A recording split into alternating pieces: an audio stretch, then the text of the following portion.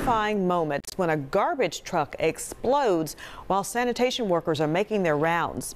Now, this happened in Blytheville, Arkansas, and it was bad, but it could have ended much worse. Yeah, they dodged a bullet here as WREG's Andrew Ellison reports the explosion was caused by something you might have in your home.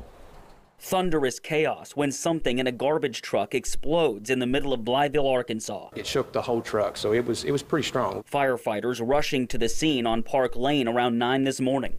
Making sure the truck itself wasn't on fire. No flames or smoke, but a sanitation worker was lying on the ground.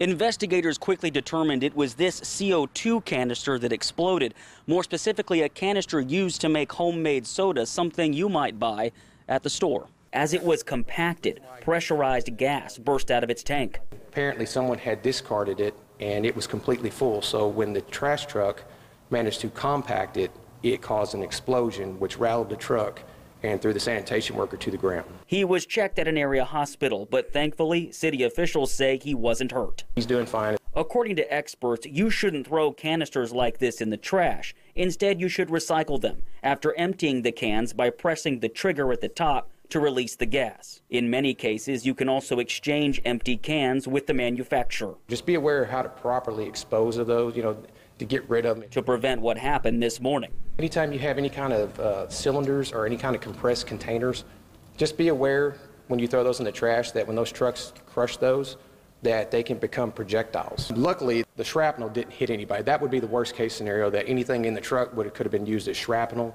but luckily nobody got injured. A close call, to be sure. In Blytheville, Andrew Ellison, WREG News, Channel 3. Well, watch and learn, and a lot of us learned tonight. Another bit of good news city officials say that garbage truck wasn't damaged by the exploding canister.